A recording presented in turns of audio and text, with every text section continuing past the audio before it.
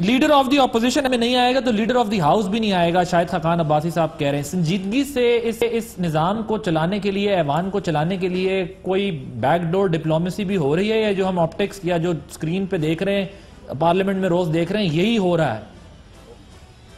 आ, नहीं जी देखें ये तो इसमें कोई शक नहीं है जिस तरह भट्टी साहब कह रहे थे जिस तरह बाकी हमारे जो साथी पैनलिस्ट साहब के बैठे हुए हैं इसमें कोई शक नहीं है कि ये हमारी हमारी एक मजमू ज़िम्मेदारी है, हमारी एक ऐसी ज़िम्मेदारी है जो हम सबने अदा करनी है अपोजिशन हो, चाहे रूलिंग पार्टी हो। और इसमें कोई शक नहीं है कि जो रूलिंग पार्टी है, उसकी ज़्यादा कंट्रीब्यूशन होती है towards the smooth running of the house but बदकिस्मती से हो ये रहा है कि दोनों तरफ़ से एक ऐसा वो शुरू हो गया है, जिसमें कि स्पेशली जो है, एक ऐसी बातें हो जाती हैं और अपोजिशन भी ज़ाहिर है कुछ बाज़ात ऐसी बात कर देती है, जिसकी वजह से जो रूलिंग बेंच में अपना जो रूलिंग पार्टी है, उसके अरकान ज़्यादा मुश्तिल हो जाते हैं। क्योंकि मेरा ख्याल है कि उस, इन दोनों की तरफ़ से फिर एक ऐसा माहौल पैदा हो जाता है। लेकिन मैं आपसे एक बात करूँ, अब सेनेट मैं आपको बात बताऊँ कि सेनेट में भी कम माहौल नहीं है। सिर्फ़ ये है कि उस तरह वहाँ पे तादाद चूँकि कम है तो हमारे यहाँ इस तरह की, वो शोलो बयानियाँ नहीं होती सर मगर वहाँ भी तो ये कंप्लेन है आपके वजरा नहीं जा रहे वहाँ पर सेनेट में भी ये शिकायत है।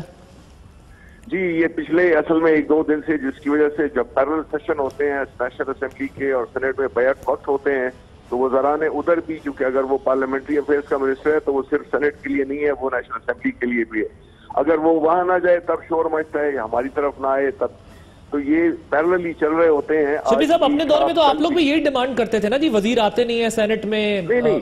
उसकी, अपने उसकी नहीं हम तो करते थे लेकिन उनका जो स्टेट मिनिस्टर होता था आ, वो अटक से एक मिनिस्टर थे मुझे उनका नाम याद नहीं आ रहा। हमेशा वही जवाब देने के लिए वो आते थे।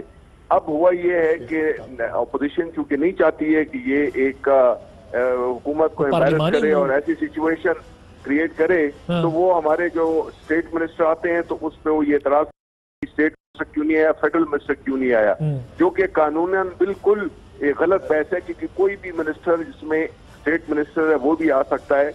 लेकिन चूँकि अपोजिशन ने वॉकआउट करना होता है उनको okay. उन्होंने एक, एक सीन क्रिएट करना होता है इसलिए वो सीन क्रिएट करते हैं।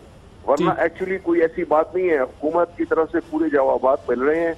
लेकिन आ, अपना जनरल साहब बैठे हुए हैं ये इसको टेस्टिफाई करेंगे कि बहस इसी भी होती है कि जिन्हें स्टेट मिनिस्टर क्यों आया फुल मिनिस्टर क्यों